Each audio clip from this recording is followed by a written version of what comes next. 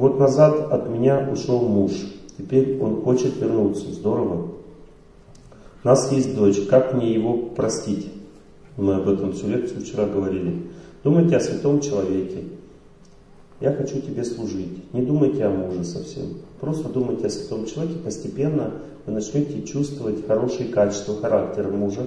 Потом дальше вы почувствуете уже, что у вас есть силы прощать ему. То есть водоемчик начнет наполняться постепенно. Нужно время. Это обычная вещь для тех, кто этим занимается. Прощение приходит через какое-то время. Если ты занимаешься этим, если не занимаешься, никогда не простишь.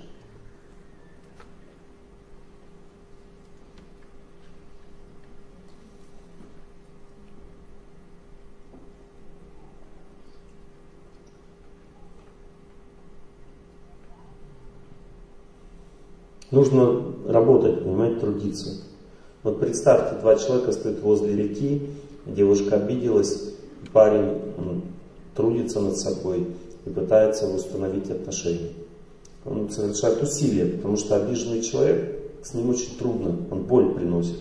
Но если ты хочешь семью, хочешь отношений, ты должен прилагать усилия, снять обиду близкого человека. В реку смотрятся облака, И я тоже в реку смотрю. Вдруг чувствую, как любимая рука Берет нежно руку мою. Что с тобой стряслось, друг, опять? Быть может, я в чем виноват? Нельзя же молчать, упрямо молчать, И час и другой подряд. Понимаете, нужно силу прилагать, силу прилагать. Не то, что вот тут мы стоим и смотрим в реку. Не прощается, да? Ну, не простится никогда.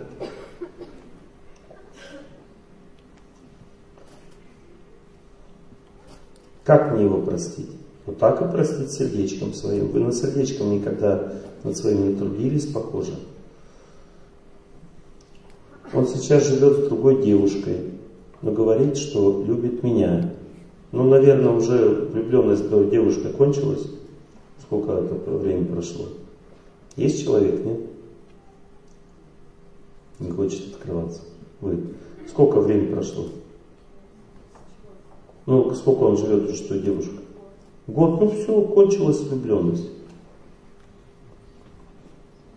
Бабушка пришла к врачу 80 лет. Говорит, что-то я не мочусь. Кончилась моча. Все, 80 лет. Ну, уже кончилась влюбленность, хочет назад. Все. Покобелился немножко и как бы, хочет назад жене уже теперь. Нормально.